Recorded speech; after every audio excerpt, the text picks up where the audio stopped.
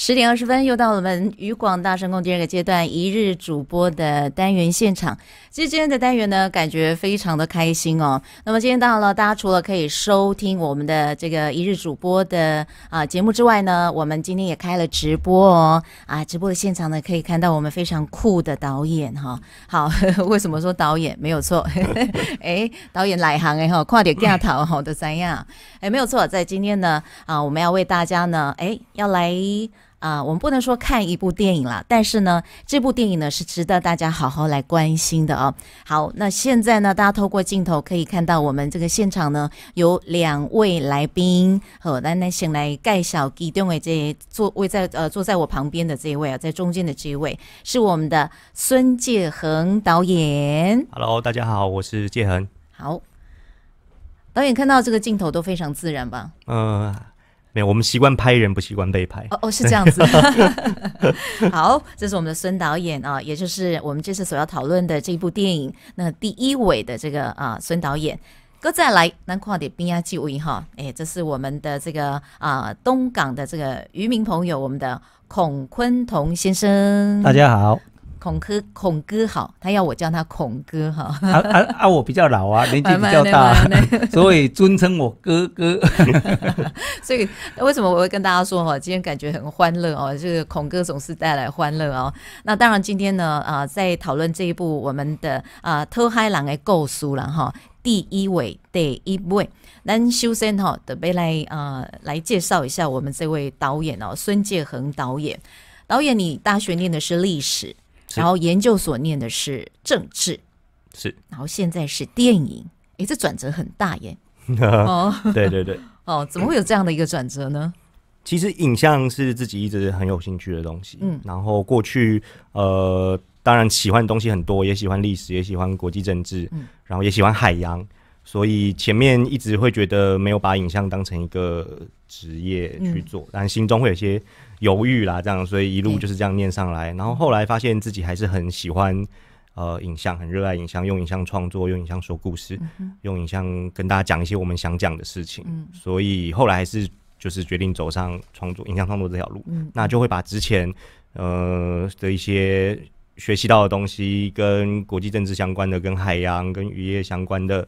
东西就是把它试着放进我们的故事里面。嗯，那据我所知呢，你之前拍过的电影啊，比如说呃，跟这个小琉球比较相关的，像《干儿子》啦、《等归人》呐，哈，这些都是有关于我们渔业哦，甚至是环境、海洋这些环境的议题哦。那您对这样的议题是特别的关心吗？或者是为什么会特别要关注这样的议题？呃呃，我大学毕业，然后。考完考上研究所之后，我先去当兵了。然后当退伍之后，我在等研究所开学那段时间，我去参加。我想说做一个我完全呃之前没有做过的事情，我就跑去参加海洋大学那个海龟志工。哦，暑假因为海龟暑夏天的时候会上岸产卵，对，所以那个整个暑假我就在那边顾海龟。是对，那不是只有顾海龟，你当然观察到了这个环境和人的关系。人会不会因为这个海龟保护区的划设受到了一些权益的影响？嗯，好，那可是海龟还是很需要保育，所以这中间其实有一些冲突。那这就成为我以后一直很关注的一件事情。是，那从海龟慢慢扩及到呃渔业，慢慢扩及到海洋，扩及到环境，这样。所以我的研究所的政治学政治所的毕业论文其实也是写跟这个相关。哦，跟这相关哦。好，那我们现在回归到我们今天的主题，好不好？偷海狼的构诉，第一尾，第一尾，这个尾呢就是欧昂曾经的尾哈，尾鱼的尾。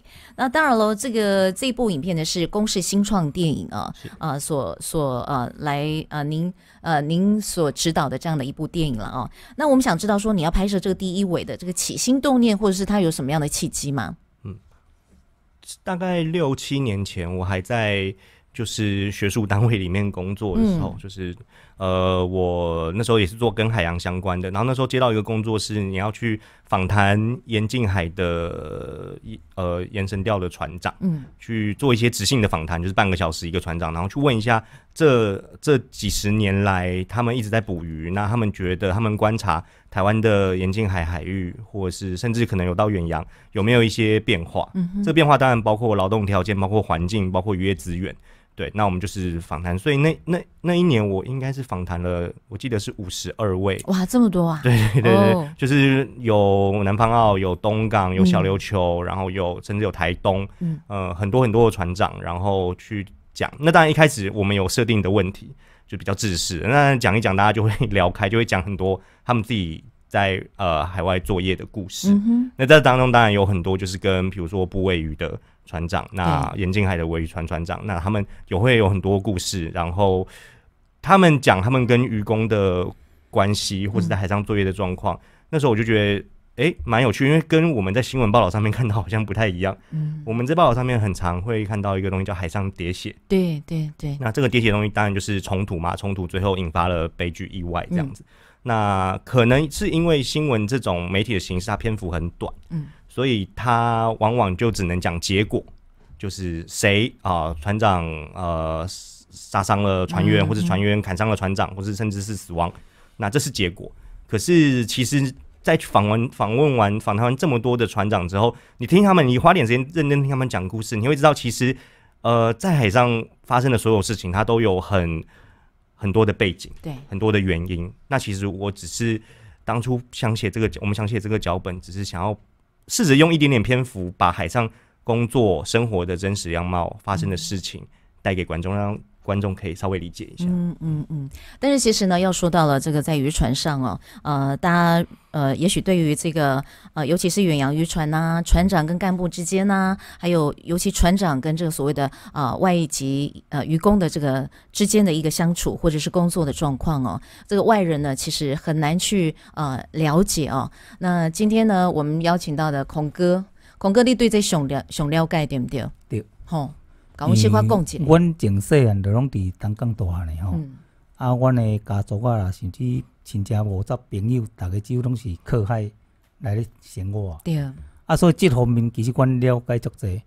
即道即个小孙啊，我叫小孙，他是孙导演哈。孙导，孙导，我我都叫他小孙啊。他刚好有人找他来来找我。对。那我们看了他的剧本，其实我们很重要一点就是说，他主要里面就是要说传。一般我们像渔民，然后跟我们的外籍渔工之间的互动、之间的情感，到底是怎么去呈现？那这一点，其实我们也觉得说有必要让外面人去知道。嗯哼，好，因为现在其实离开渔业界的话，大概外面的人很少能够去了解渔业这一块。嗯，啊，所以让外面知道说真实的状况也好，啊，不然啊，无即卖外口人有诶哦，拢。看无啊讲哦，拢黑白讲，有时候会误导。那有时候渔民有当下嘛，听到会扑扑掉讲啊，这也没熟悉的状况嘛。哎，是。所以透过这个东西来让外界了解，也是一个好事。嗯。啊，所以那一天刚好渔业署的那个副组长王茂成副组长来，我就跟他提到，那他也很高兴啊。事实上，我们现在的主管机关也非常希望外界能够多多了解渔民跟渔工他们之间的互动大概是什么关系。所以就透过也透过这个这部片，希望大家慢慢的去了解渔民，然后跟渔工。其实现在哦，渔民跟渔工已经不像以前那种比较说从属关系，那那只是以前那种概念比较早。今麦诶渔民像阮，今麦无外籍渔工的话吼，主那其实袂叮当啊。所以已经变成很重要的一种伙伴关系。伙伴呐，哎，partner。对对对，就变成很很重要的 partner，他们的关系。一只船仔内面有当时啊，像船，阮的船仔十几、十几个鱼外外籍渔工啊，搭一个两个干部。啊，你这外籍渔工若无无要讲帮忙，阮的船仔根本都无法度使出港。对啊，这是。外界有些人就会认为讲啊，可能阮的去欺负渔工，还是讲阮的去虐待渔工，这个都是。不对的，嗯，要澄清一下。哎，我今仔甲 Q，因今仔你我今仔毋免讲欠十个，欠两个，欠三，个，我直接从那使袂处理。对啊，因为那个船上的工作，它有固定的地方要做什么做什么。啊，所以今天缺了一两个，那重要的重点，比如棍啊、车啦的棍大机无人用，那整个工作环节就断掉，动不了了。对，所以我们现在其实非常注重渔工这一块。嗯。那这位小孙他在船上拍的，他呈现说，哎。干部就是说我们渔民干部，然后在海上跟这些外籍渔工，其实就像一家人呐。他们整个在海上的时候，在一艘船上好几天，甚至有时候好几个月，几乎就是就像你们在家里一样，就像家人在相处一样啊。每个人都有情绪嘛，每个人也有过在工作，言语上也会冲突。大概我当下心情好，心情坏，我当时要交两句，我当时哦，这个都会发生啊。他就是要呈现这一块给大家去知道，在海上生活上枯燥乏味，那怎么去排排除？那怎么去发泄这些情绪啊？嗯，那在开拍前，孔哥有给孙导上一下课，或者是你是一个他的技术指导吗？有啦，其实刚开始的时候，我看到剧本，我也讲说啊，这里面五位作者好像跟实际上不盖符合。哦，安那样。然后孙导的意思是说。啊，我都没在教你讲的，拢拍出来。还那那个，我们是拍电影还是微电影？说有些是要拍出的就是电影它的那个戏剧的张力出来，是是，也就是说做那个呃一些效果出来。对对对啊，所以有些它是以实际的东西慢慢在做一些效果，有些东西其实不是那么实际啦。在一些东西的话，那当然我们放手去让导演去去发挥啊。是是，但是有些东西就是效果方面，哎。哎，可是导演，你看哦，这个船舱那么小哎，你不是 CT Four 的吗？孔哥是 CT Four 的吗？那一艘是 CT 五的，CT 五的，那一艘是。还是撸撸细架是不是？无盖大架，哦，个较大架是这样嘛？我你看，其实船舱的空间都很小啦。天公令怕狗缸哦，对，五天，才五天的时间呢。对，哇，而且听说这个过程很辛苦哎。拍片都很辛苦啦，但是 就是因为诶这个。船上这个环境大家都不熟悉。对，你说我们平常拍片在公寓里面啊，租一间公寓或摄影棚，大家其实都知道公寓大概就是那个样子。但是船，呃，剧组人员可能我有上去过，然后可大部分剧组人员其实他们没有上过船，所以在那么狭小的一个空间里面，我们要重新做这个，比如说做美术，我们要把那个。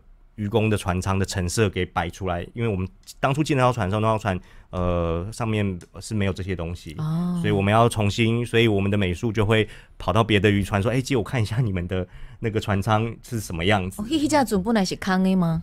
波浪？呃，不，应该是说，应该是说没有这么多。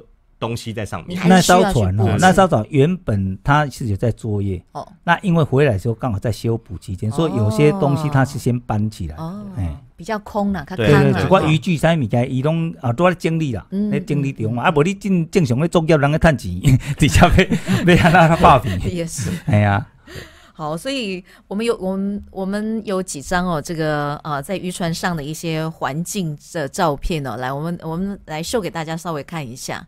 我这样这这丢西，来我们我们看一下这个，这个是床吗？这是他们睡觉的地方吗？睡觉的地方。哦，这一张是他们睡觉的地方，所以基本上就是比较狭小了哈。船舱里面，船舱里面，对，还有吗？来，哎哦，这个，但是我要这是本寿吗？对，这是厕所，厕所。那个船舱那张我要说一下，我觉得这也是我们拍片。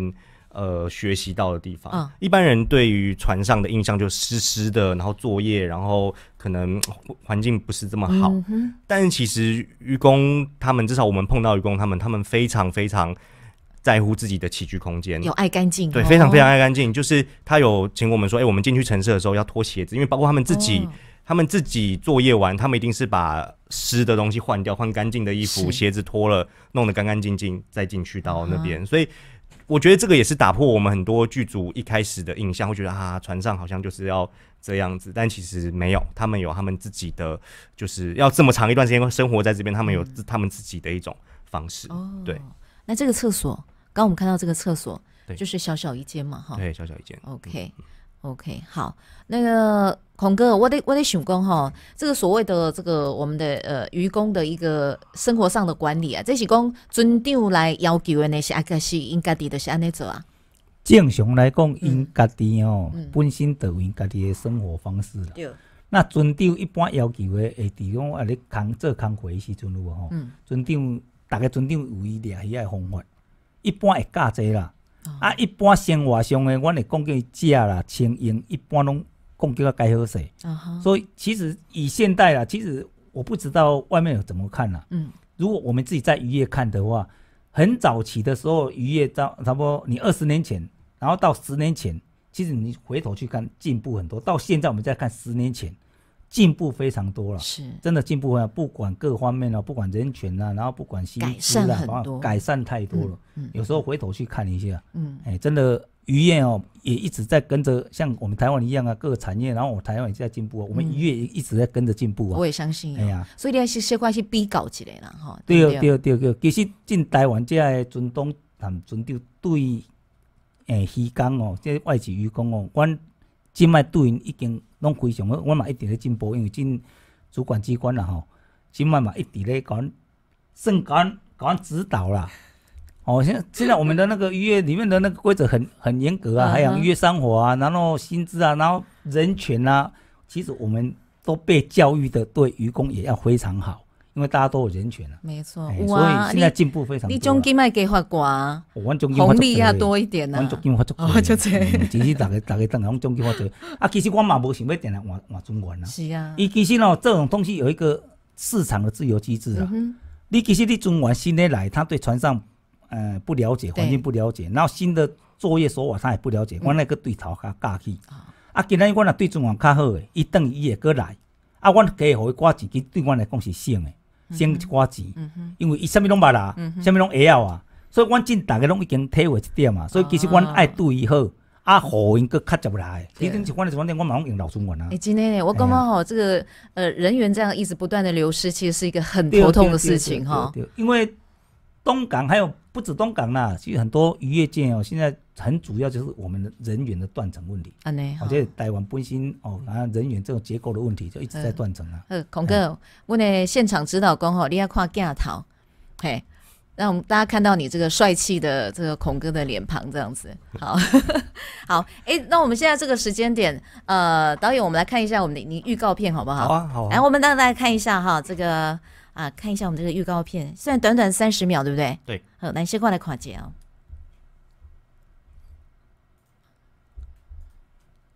好，这是经工作的情形嘛？哈。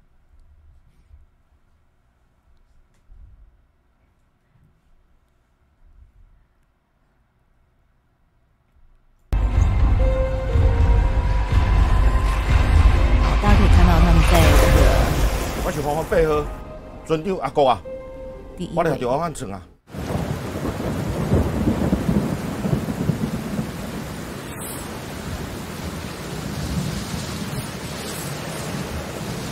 有啊，好，就是三十秒钟了对，三十秒钟，嗯，比较短。那个孔哥，我刚看到的其中一幕，一个高迄个小根啊，哟，游戏呀。哎，当当耳嘛，那是真正就拍高的嘛？其实毋是做拍高的啦，因为因达到处掠啥，像因咧掠迄位吼，因用的是诶鱿鱼啊鱼较济啦。哦，啊无一般，其实玩家虽然虽然说延绳钓没有，那延绳钓其实分很多种。你像这掠诶暗层的吼，因的棍啊。无烧香，因为阮咧叫叫暗层棍。哦。所以伊内面有一个有一个镜头，告诉你看，恁会讲呃，有一个镜头说，昨天晚上那个渔工才睡两个多小时。其实这实际上这无啥可能发生啦。无啦，那因为因为这暗层棍哦，短短啊尔。对。啊，短短啊了，因处理主要主要靠的是船长因的经验，因会看迄流水啦、流水啥物件，哎，若掠着会足紧就使是吧。嗯嗯。啊，所以因的棍啊足短。所以一工内面可能足紧足紧就放棍收棍啊，所以你讲一个航要困两点钟，其实无啥可能。那是剧情需要对对对，那是一种张力。啊，阮遐像恁啦，像阮咧阮认为迄个有种吼，阮咧阮认为吼，佫有一种是迄种。滚烫诶，啊滚烫迄落棍落落三千几支，啊，佮有种掠龟头刀诶叫龟头龟头刀棍，啊，佮有掠种撑啊家己迄用手的叫蒲棍诶。导演，你敢听有？有有，哎，真的，导演听我。他拍这个，我们拍这个都要。他他来刚来的时候，他说跟我讲说，他住在小琉球很长一段时间。是啊。然后我有有一次他讲一一个东西，我吓到。嗯。迄阵那边拍时，那上面要有那个六七个外籍渔工嘛。然后我以为是那艘船上原本就有那些渔工就 OK 嘛，他跟我讲说不是哦，这些渔工他们要去应征，要真的会演的。我吓一跳，我说渔工还要去应征会演戏的。那时候那那时候我真的有吓到，所以他真的很认真在拍啊，真的很认真所以所以导演，这这都是素人吗？素这些愚公？对呃对渔工都是渔工都是素人，除了尤安顺，真的愚公里面去应征出来哦，有没有很难呢？很难找出会演的愚公。我们确实在找演员的时候，花了呃花了一点时间。是是。对，那这这里面当然呃有大部分是愚公，嗯，但里面有两位，一位是劳工，但他不是从事渔业工作。是是。对，那一位是因为比较比较年轻的那一位是目前还是学生，在台湾念书的学生。对，那你说难，其实。还好，只是说作为导演，你要跟演员指导他们演戏，或者我们之前在排练或者在现场的时候，呃，你要沟通，因为又不是同一个国籍的愚公，我们设定的是菲律宾和印尼籍的愚公，所以变成那可能有时候可以用英文沟通，可是有时候我需要一些讲解比较复杂的哦，这个戏可能场面调度走位或者是情绪比较复杂的时候，就要花一点点时间跟他们慢慢讲这样子，然后甚至。呃，做给他们看这样子，对。好，现在时间是十点四十一分，朋友们，您现在所收听呢，同时也可以收看到我们这个一日主播啊。今天所聊到的是《单机的偷嗨狼》的构诉第一尾导演，有人在问哦，你这个中文的这个片名叫《第一尾》，但是呢，英文叫《Homesick》，为什么呢？呃，其实我我们想要讲的这个故事。就是我刚刚有讲到，其实这个故事很很单纯，他没有要做什么善恶的判断，因为觉得在船上其实每个人的个性都不一样。像孔拉刚刚刚讲的，他会有很动人的地方，会有很温暖的情节，当然也会有很冲突的，会有很多的误会，会有很多的对这种东西。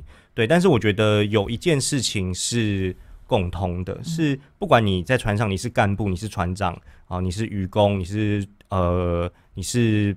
比较资深的渔工，你是新人啊，不管你是哪一个国籍，台湾人、印尼、菲律宾，其实共同就是大家出去其实都是希望有一个好的收获，然后回家。没错，对，回家这件事情，我觉得是所有人心中的念想。嗯嗯，所以我觉得它或许是这个片子的核核心。所以我们英文的片名就取叫 Homesick，就是每个人其实都是。想家的好，我希望这样子导演的这个解答呢，啊，能够呃满足我们这个听众朋友他的这个疑问啊，哦，好，但是呢，其实我有发现哦，你们这个整个拍摄呢，呃，会用这个所谓的手持摄影机来拍摄，这个拍摄难度会比较高吗？哦，当然，这个摄影师也是很够力啊，我们摄影师王春雨，对他，呃，那时候就有跟他讨论，那。嗯，船上的作业的环境其实是，我觉得是真的蛮危险的。对，因为那个在海呃海上海况不确定的状况下，对，那我们想要让观众可以在电影院里面体会那种这个这个工作的不稳定性和危险性。对，所以那所以我们尽量希望是用人的视角，是就是好像你也站在船上这样子。对，那所以。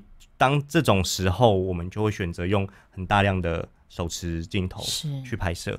对对对！天哪，我我我我 我截取了几张导演传给我你们的这个工作照，那大家来看一下哦。诶，这个是要登从这个帆船小小小船要登上这个拍摄的船只，对不对？是。好，这一张，呃，那那那五天的风浪还好吧？还还可以，蛮幸运的，蛮幸运的，那就好。嗯，好，再来，你看这多，你看就是这样很狭狭窄的空间，然后挤了一堆工作人员，对，还有演员。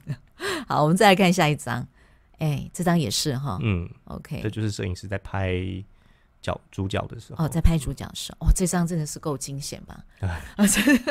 他是在拍这个鱼要上钩的时候，对，我们在拍作业，就是要拉鱼上来的时候。天哪，他这个摄影机。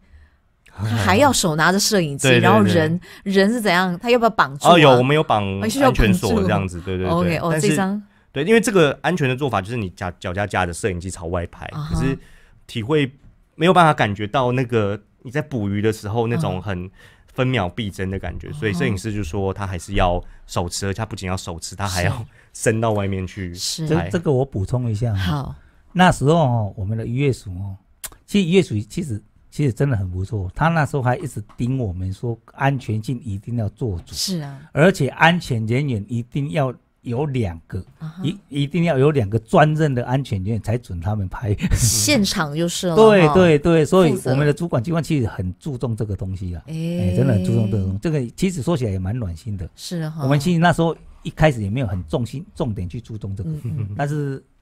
渔业署有特别交代，呃，特别交代，特别交代，这拍摄的五天当中都不可以有任何闪失。他就是说安全员的编制一定要专业人，安全人员在旁边。没错，没错，他们对安全很很很很顾虑了，很重要。好，这是我觉得这张真的是蛮经典的。你们会不会怕摄影机掉下去啊？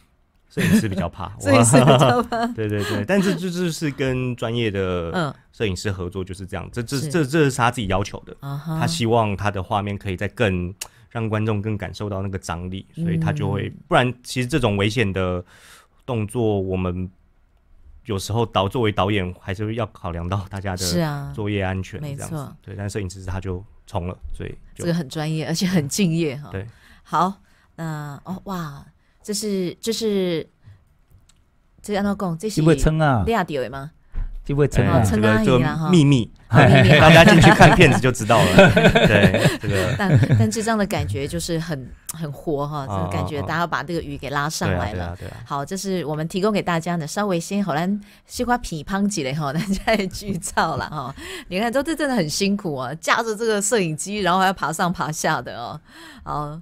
OK，好，这是呢，呃，导演呢提供的啊一些这个他们在啊船上的一些拍摄的一些工作照了啊。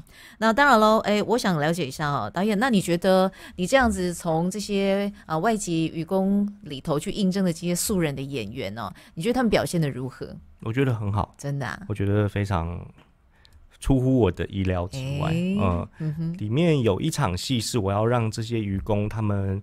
好像下班后就是工作完之后，他们自己有聊天，然后有一些休闲的场合，坐在那边这样很惬意的。对，那其其实很难指导，就是因为人很多，我也没有时间一个一个跟他们讲你们要讲什么，你要讲什么。所以我其实就是给他们一个大概，说你们要讲到哪些重点，好，这个要讲到，剩下你们就随便聊。对。结果，但是我然后我有跟他们解释说，我我有习惯，即使他们可能戏份不多，我会跟他们解释说。呃，你们的前面一场和后面一场要讲什么？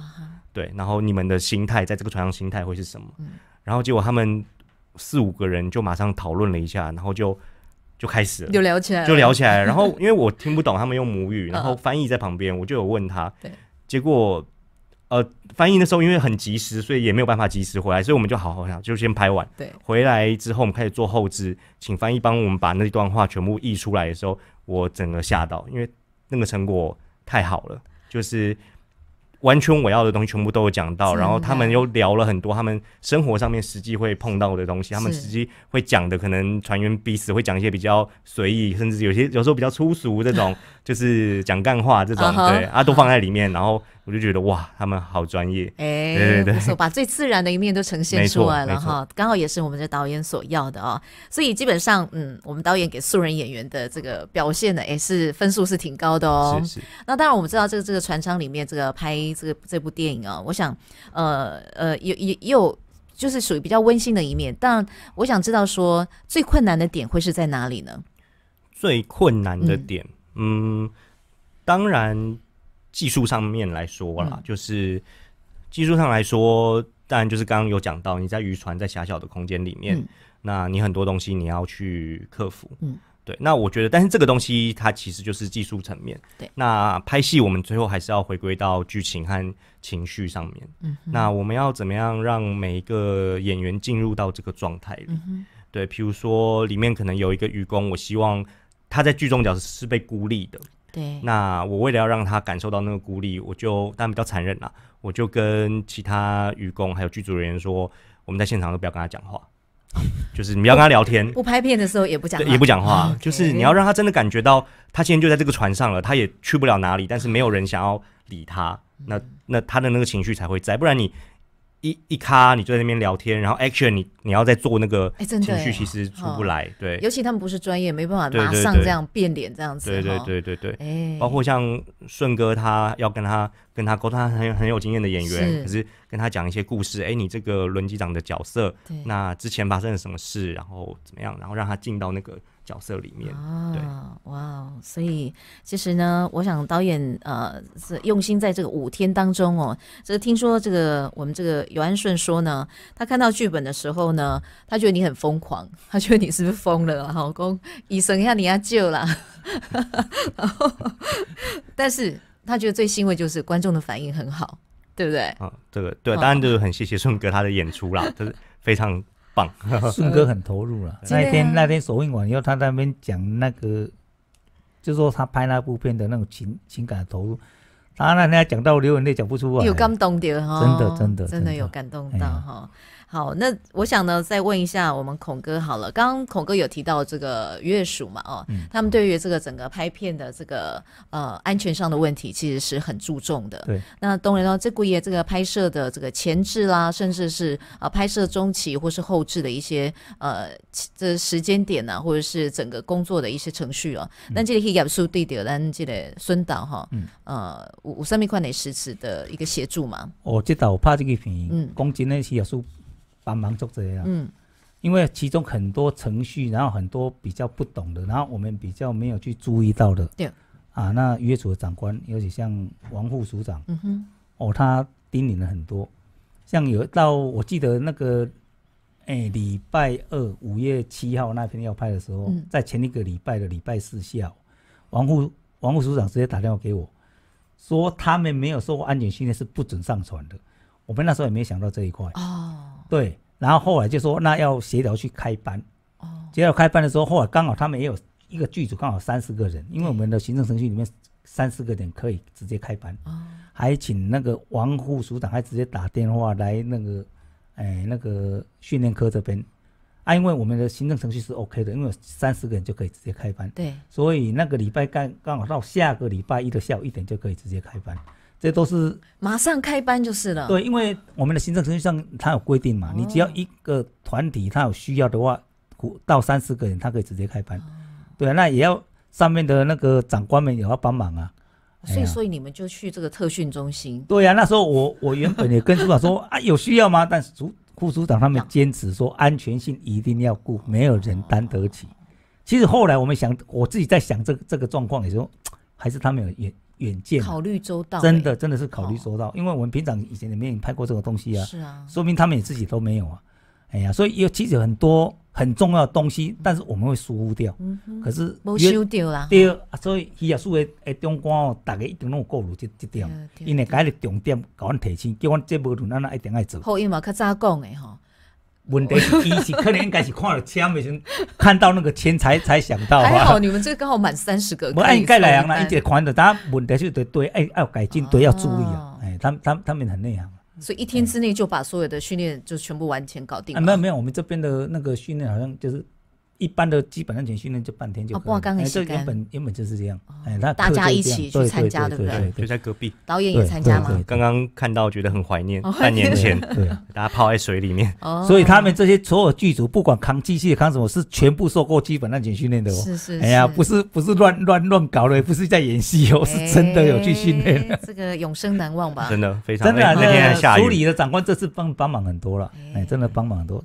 好，但是我知道呢，这一部电影是主要是探讨移工议题哦，这算是一部社会写写实剧，对不对？嗯，那我们很想了解说，呃，导演在这一部影片当中哦，你的关注点在哪里？还有，你希望传达给观众什么意念？好，我我当然我的关注就是希望是让观众可以接收到的东西。让我刚刚其实前面有提到，我可以再就是再补充多说一些些，就是。呃，其实船上没有大家想的这么这么复杂。我说人的关系，你就你就想象你去一个大学，你大学入学，你去住在一个大学宿舍里面，啊，你宿舍里面有有三个，另外三个室友或五个室友，你们住在那边，你们可能都是好人，跟没有坏人，但是你们。日子久了，总是有些人啊，你可能看不惯他习惯不好啊，乱丢垃圾、不洗衣服啊，那你总会呃念对吵死了，念他两句，他可能也不开心，那就可能，那可能你也可能有跟一些可能跟你原本背景南辕北辙，因为住在同一个宿舍，你们认识了，你们感情变好了，你们可能变成一辈子的好朋友。对，那其实就是这样子，在船上就是这样子，只是说船上的那个环境更封闭，所以你。躲不开。哦，我们住宿舍，我们可能不喜欢这个人，我们就出门嘛，去上学。但是你在船上，你躲不开，你每天要跟他生活，你每天要跟他作业，所以其实很多的情绪，很多的呃情绪，我觉得会被放大。对，这个情绪当然有好的，有有不好的。对，那我其实就是想要呈现让观众看到船上的这一面，有很很温馨的人与人的互动关怀，但是确实也有冲突，但这个冲突都是有原因的。嗯，其实我我我很想让观众了解这个。你看完之后，或许你下次再看到呃海上喋血的新闻片段，你不会这么。任意的下评论说啊，你看愚公都怎么样子啊？你看船长都怎么样怎么样？嗯，不会，因为你你会知道，其实在这个事件的背后是应该会有他们的故事，会有他们的原因。没错，我我很希望带给观众这样的想法。孔哥，那你看完之后你有什么感觉？其实这这部片我整个看完以后，嗯，我最感动的就是渔公，然后跟渔民在海上。其实他们长期相处下来，不管在海海面上，他们是在吵架啦、打碎声啦，但是你注意去看，他们就像一家人。他们也没地方跑，就在这个小小这这条船上，可能要相处一个月、两个月、三个月。哦，如果像讲恁厝的人，恁兄弟姊妹有可能嘛是冤家啊，哦，吵架啦、口角啦，这种会，没有隔夜仇啦。对，比如那定。几乎得像安尼，是哈，对啊，我我蛮感，我也觉得必须要是这样子的一个。这个物件哦，应该爱护外界人愈来愈了解，讲阮渔民甲做渔工，嗯，其实到尾就是像个一家人安尼啦。的确，你现在有看，哎，导演什么来？导演先说。没没有，我只是想要讲一下，因为我突然想到，就是讲到，因为于月楚这次其实帮很大的忙。我觉得我作为一个导演，因为确实我们脚本交出去的时候。呃，我们知道这个脚本要让公部门去支持我们，有一点困难，因为就像我讲的，它里面当然有有人与人相处温馨的地方，但其实确实有冲突。对，那这样的冲突，有时候你就会想说啊，公部门会不会不想要看到这些东西？因为毕竟这个东西它就是一个冲突嘛。是对，那。跟孔大哥讨论之后，他呃给约所长官们看过，哎，他们其实还蛮支持这个东西，也愿意说这个东西让一般观众的一般观众来了解。所以那个时候我觉得，哎，蛮蛮，我觉得蛮好的，就是大家越来越开放，然后。越来越把这个议题打开来，然后让大家一起去探讨，不要去做一些呃，不要很快就去做一些呃价值的判断。嗯，没错。所以我我印象蛮深刻的。所以其实我觉得导演呈现的不是什么什么黑暗面，他只是呈现一种真实面。好，是真实面。好，那当然了，我们知道这个第一尾这部影片呢，其实在今年我们的高雄电影节已经有播放过了，但是我北户款。哎，今天很可惜，我相信很多朋友呢，如果在高雄电影节错过的话，导演什么时候还可以再看得到？预计公示明年初，二零二零年初的时候会在公示的主频道播，然后播完之后就会呃，在他们的公示加七的这个网络平台是会在上面有七天，你可以随随点随看。好，对。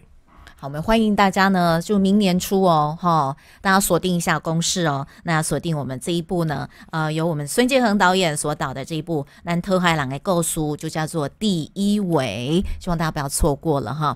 好，那也希望说我们这个导演呢，以后还有更新的作品，好，更多关怀我们这个渔民朋友的这样一个作品，能够再次呈现哦，好不好？谢谢。好，那下次如果还需要帮忙的话，还是找孔哥了。一定，我一定尽力帮忙。我缠上了，我缠上了，缠上孔哥。好。好，我们今天再次的谢谢我们孙建恒导演，谢谢，还有我们的孔哥，谢谢，好，感谢感谢，我们今天的单元节目就进行到这来，来最后给我结婚间哈，但准备的这些瓜，这些人自由发挥是够是够多少来叫做怕点念哈，来，这是为了我们导演播的哈，我们来听歌喽，谢谢您的观赏，谢谢您的听收听喽，我们下次同一时间空中再会，拜拜。